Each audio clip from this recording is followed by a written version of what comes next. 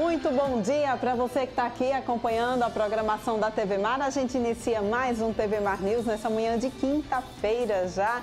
Daqui a pouquinho sextou, né? Quinta-feira, 17, 17 de junho, para você que está aqui acompanhando a nossa programação. Está precisando sair de casa? Não quer perder o TV Mar News? Não tem problema, baixe o aplicativo da TV Mar no teu celular e você vai ter toda a nossa programação na palma da tua mão.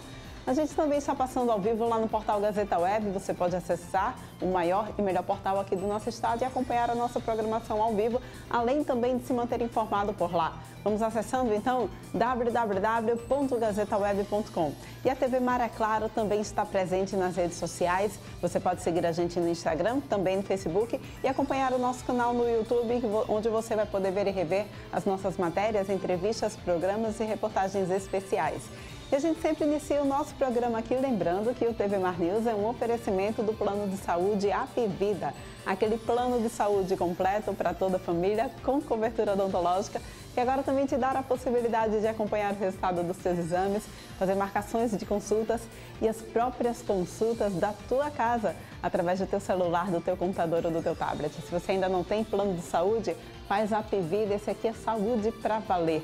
E a gente, é claro, também não pode perder o hábito de abrir o jornal aqui nas nossas manhãs. Vamos abrindo o tradicionalíssimo jornal aqui do nosso estado, Gazeta de Alagoas, acessando www.gazetadealagoas.com.br e a gente confere os principais destaques da Gazeta de Alagoas agora. JHC sanciona projeto de lei para rateio de precatórios do Fundef. Órgão desativado, o gabinete fantasma da vice-governadoria pediu aluguel de carros de luxo, diz deputado. Taxa de letalidade do coronavírus em Maceió chega a 3,15%, a maior do ano. Outros destaques aqui: média móvel de casos em Alagoas cresce 14% em 14 dias. Em 15 dias, mais de 2 mil pessoas entre 20 e 40 anos testam positivo. Alagoas já aplicou mais de um, mais de um milhão e 100 mil de doses de vacina. E Tite muda a seleção para jogo contra o Peru. Deputados cobram devolução de 14% a aposentados. E número de empresas abertas no estado aumentam 34%. Alagoas tem terceira pior renda média do país no primeiro trimestre esses e outros destaques você vai conferindo então aí www.gazetadealagoas.com.br, porque agora a gente vai falar sobre fiscalização de fogos de artifícios. Quem traz detalhes para a gente sobre isso agora é Viderlan Araújo.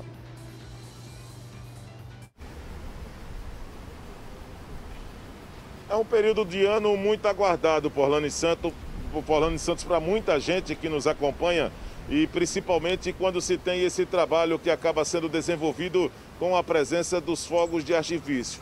E naturalmente, nesse período do ano, com presença inclusive de partidas como você mencionou há pouco, o Brasil joga hoje com o Peru pela Copa América e naturalmente existe toda uma movimentação onde a característica é, principal também é a presença de fogos.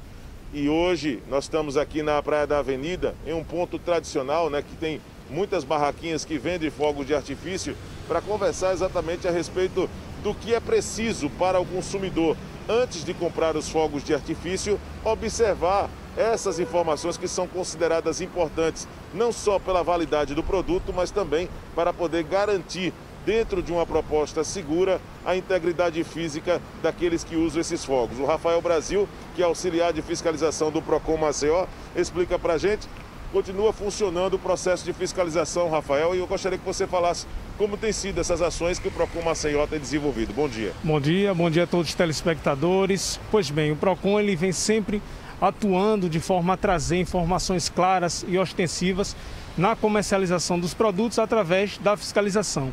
Mas vale ressaltar que o principal fiscal dessa relação é o consumidor, que deve esse ano estar atento com relação à comercialização desses produtos, justamente porque ano passado foi suspensa a comercialização de fogos de artifício e dessa forma a atenção deve estar redobrada com relação à validade desses produtos. Se houver qualquer indício de irregularidade, de adulteração dessa data de validade, deve imediatamente procurar o órgão de proteção e defesa do consumidor para que sejam tomadas as medidas cabíveis. Né? Agora, todos nós sabemos, Rafael, que existe uma dificuldade até para os proprietários também das barracas de fogo de artifício diante dessa suspensão, dessa proibição no ano passado.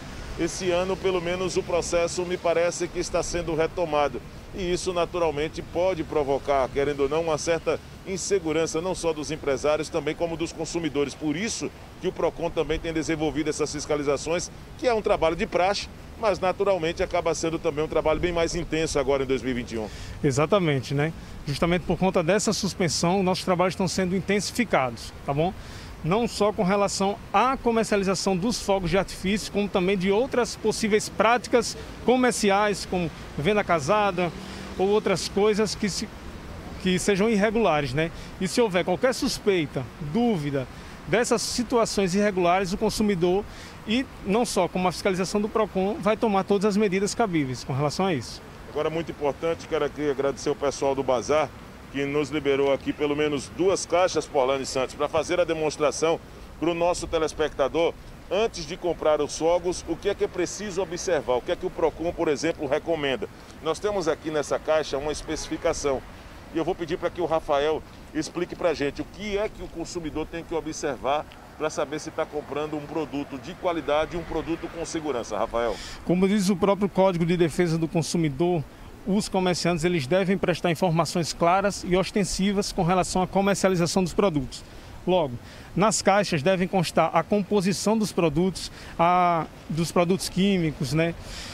a indicação de faixa etária para utilização desses produtos, né? Vale lembrar que é vedada a comercialização para menores de 18 anos, as crianças com menos de 10 anos também, de acordo com as autoridades responsáveis, só podem fazer o uso de fogos luminosos, por exemplo, sempre acompanhados da presença de um adulto responsável.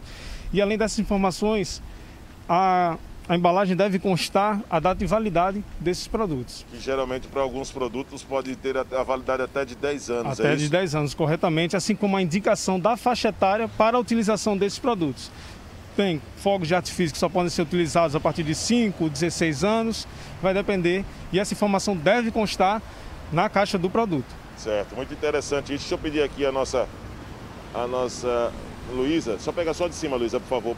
Olha só, nessa caixa que nós temos aqui, né, é uma caixa de um produto, nós vamos aqui proteger o anunciante, né, o patrocínio, olha só. E aqui tem algumas especificações no verso, né, na parte de trás. Exato. São letras pequenas, naturalmente, mas que dizem aqui o uso para, recomendado para é, maiores de 16 anos, né? Tem que ser maior de 16 anos. A validade aqui, pelo que o Rafael já mostrou para a gente, é uma validade de 10 anos, né? O prazo de validade aqui, ou seja, fogos de 2017 até 2027. O que mostra que esse aqui, por exemplo, está em conformidade com os parâmetros que estão estabelecidos, principalmente pelas normas de segurança. O PROCON hoje continua realizando fiscalizações. Quantas equipes estão nas ruas para poder saber se a qualidade do produto hoje está de acordo para garantir a segurança do consumidor? Nós estamos com algumas equipes fazendo operações continuadas para verificar as condições de comercialização desses produtos. E em caso de qualquer incidente, deve procurar os órgãos competentes, como o SAMU, através do 92, ou o Corpo de Bombeiros, através do 93. E, decorrente dessas práticas comerciais, pode nos procurar através dos telefones WhatsApp 98882-8326 ou do nosso telefone 0800 082 4567. Se preferir, o consumidor, a consumidora, pode formalizar sua denúncia presencialmente nas nossas sedes que ficam no Barro Duro, no prédio da UMJ ou no Farol, no prédio da Uninassal. É importante também que os vendedores, aqueles que atendem no balcão, precisam também estar atentos. Né? Chegamos, por exemplo, aqui no local e só observamos pessoas maior de idade comprando. Isso já é um bom sinal, hein, Rafael? Exatamente. E o consumidor é, como falei anteriormente, o principal fiscal dessa relação, né? E deve procurar imediatamente o órgão de proteção e defesa do consumidor para eventuais dúvidas ou constatação de irregularidades. Reforça exatamente o número do PROCON Maceió para casos de denúncias, o pessoal utilizar exatamente desse recurso. Nosso WhatsApp é 988828326 e o telefone é o 0800 082 4567. Muito obrigado então, Porlane. Nós conversamos com Rafael Brasil, ele que é auxiliar de fiscalização do Procon Maceió. Dicas importantes para o nosso telespectador a respeito dos cuidados e da saúde, inclusive da integridade física de cada um deles. Lembrando que até o dia 29, dia 30 deste mês, teremos barraquinhas em vários pontos da cidade, vendendo os fogos de artifício e que precisa exatamente dessas recomendações, atendendo os parâmetros das normas de segurança para poder mais uma vez garantir a saúde e a integridade física da população. Com imagens de Chico Nogueira, eu volto com você nos estúdios daqui a pouco, direto das ruas da capital lagoana. Nós vamos trazer mais informações ainda hoje no TV Mar News. Muito obrigada, Viderlan, pelas suas informações. E a gente continua falando sobre São João, né? essa festa que a gente aguarda o ano todo.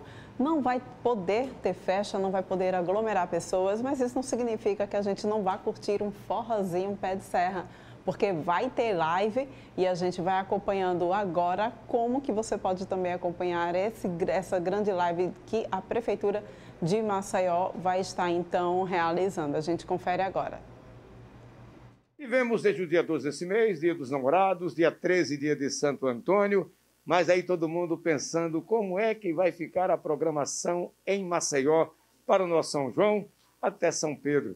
Tem sim programação, os artistas estão aí também se colocando à disposição para fazer uma grande festa, claro, online, é fazendo da forma como a, as autoridades sanitárias estão solicitando, estão determinando, Organização Mundial de Saúde, Secretarias de Saúde, Secretaria de Saúde de Maceió, Prefeitura Municipal de Maceió. Temos live, temos você em casa com a família no seu ambiente e aplaudindo os artistas. Vamos saber como é que está a programação, inclusive inscrições para que esses artistas em Maceió façam parte dessa programação.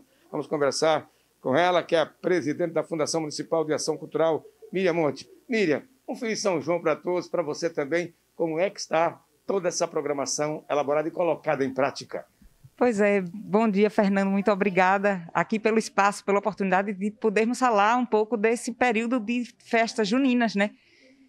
Uma tradição tão forte na nossa cultura, mas infelizmente vamos ter que adaptar à nova realidade. Pelo menos esse ano. Acredito que ano que vem teremos um panorama diferente, porque Maceió é a capital com mais vacina. Então, em breve estaremos imunizados e retomando a nossa vida. Mas no momento, o que é que a gente tem? No momento, a gente tem live dos dias 23 a 29 de junho, estaremos realizando na Associação Comercial, foi gentilmente cedido aquele espaço do Salão Nobre, para estarmos recebendo todos os grupos de quadrilha da capital, todos os grupos de coco de roda da capital, bandas de forró e trios. Fizemos um edital, as inscrições se encerraram no dia 9 o edital foi para contemplar até três associações, organizações sem fins lucrativos, organizações da sociedade civil, e essas organizações vão atuar em parceria com a Fundação Municipal de Ação Cultural na seleção, na contratação desses grupos. E aí é isso, dos dias 23 a 29 teremos muito São João, quadrilha, coco de roda. E que todos realmente participem e aproveitem, porque afinal de contas é aqui que é da nossa terra, essa tradição maravilhosa das festas juninas, principalmente tudo isso que você falou, e os artistas alagoanos já habilitados, já saiu, está para sair, quando é que poderemos ter o resultado de todos aqueles que se habilitaram no edital municipal? Pois é. As organizações da sociedade civil que foram contempladas, né, saiu o resultado preliminar agora no dia 11, então foi a Associação Cultural Joana Gajuru, a Liga de Quadrilhas, a Liga de Corpo de Rodas, eles vão fazer a seleção desses grupos, ainda vamos montar a grade é, de programação e em breve estaremos é, divulgando essas grades. Salvo engano, a, Associação Cultural Joana Gajuru, no site, ainda está com inscrições abertas para bandas e para trios de forró. Importante conferir lá no site da Associação Cultural Joana Gajuru, que essas associações vão nos ajudar a fazer essa seleção. Que maravilha! Olha só o volume de manifestação cultural e artistas. São praticamente 500 artistas de 28 grupos, uma estratégia aí bem montada, criada com muito capricho, para que não fiquemos sem as delícias do nosso São João, inclusive com todas essas manifestações, essa riqueza de artistas e de nossa cultura. Isso, e é possível que haja outras ações além dessas, mas ainda estamos trabalhando e em breve estaremos divulgando também. Então, presidente, fique à vontade para dizer ao povo: vamos juntos. Não é a pandemia que vai nos deixar de parar de viver e viver intensamente as nossas festas juninas em Maceió. Exatamente. É, estamos com esse edital conseguindo contemplar cerca de 500 artistas. Poderia ser muito mais se não tivéssemos que reduzir a quantidade de participantes. Mas o importante é que todas as quadrilhas, todos os cocos, as bandas, os trios, de uma forma plural, ampla, diversificada, nós estaremos levando para você, no conforto de sua casa, o melhor das nossas tradições. E Maceió é, sim, um dos berços do forró. E os nossos músicos, Jararaca, Gerson Filho, que deram esse start nesse ritmo tão belo. Que maravilha! Estou até lembrando Antônio Baião dos meus tempos de garota, não é? Que maravilha! É São João, é Maceió, berço do forró. Parabéns à Fundação Municipal de Ação Cultural, Miriam, presidente. Parabéns à Prefeitura por toda essa iniciativa. Vamos, com toda a intensidade da tradição, vivermos nosso São João, sem esquecer, claro, estar com todas as recomendações da Organização Mundial de Saúde, Secretaria Municipal de Saúde e aqui principalmente Secretaria Municipal de Maceió. Imagens de Chico Nogueira, Fernando Palmeira, para a TV Mar da Organização Arnoldo Melo, canal 525 NET. Claro! E a TV Mar preparou para você também uma live de São João para que você possa aproveitar essa nossa tradição.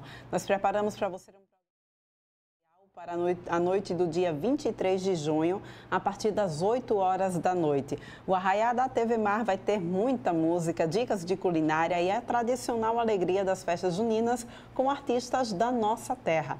Direto do restaurante Bodega da Macaxeira, eu e Mara Almeida vamos apresentar um programa com a cara do Nordeste e das nossas festas juninas. Então, anota aí na sua agenda dia 23, a partir das 8 horas da noite, você vai curtir com a gente, então, aqui, ó, o Arraiá da TV Mar, tá bom? A gente te aguarda. A gente vai agora, então, para um rápido intervalo, volta daqui a pouquinho com mais informações, não sai daí.